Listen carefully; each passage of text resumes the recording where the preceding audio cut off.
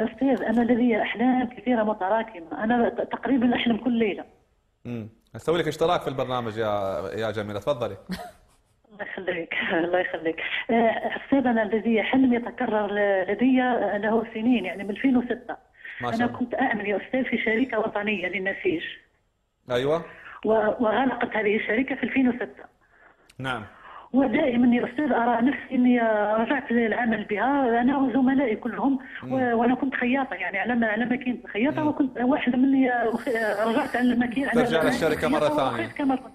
رجعت كل يعني من 2006 يا أستاذ هذه سنين وأنا أحلم ويتكرر معي الحلم هذا دائما. امم طيب أنت هاي الشركة اكلت عليك حقوقك سواء الراتب أو نهاية الخدمة أو ترك الشركة كان. تعسفي؟ نعم. ترك الشركة كانوا طردوك تعسفي ولا كان أكلوا عليك لا حقوق؟ لا ليس تعسفي. لا لا لا لدي لدي شهرية لدي دخل ما مالك حقوق عندهم فلوس أو مال؟ لدينا ونبحث. مش غير أنا يا أستاذ أنا وزملائي. امم مش فاهم. يعني أعطوك حقوقك كاملة في نهاية الخدمة ولا لا؟ أعطونا أعطونا حقوقنا يا أستاذ. كاملة. نهاية الخدمة.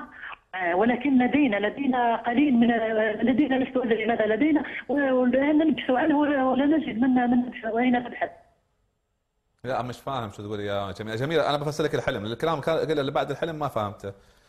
أن تري نفسك تعملين في وظيفة كنت مرتاحة بها ومستقرة وكان بها دخل دائم وأ- وأصحابها يعني كانوا عادلين معك في العمل ذلك يدل بأنك تعودين العمل في نفس الوظيفة ولكن ربما في مجال آخر أو في نفس العمل إذا كان لديك رغبة في ذلك والله أعلم.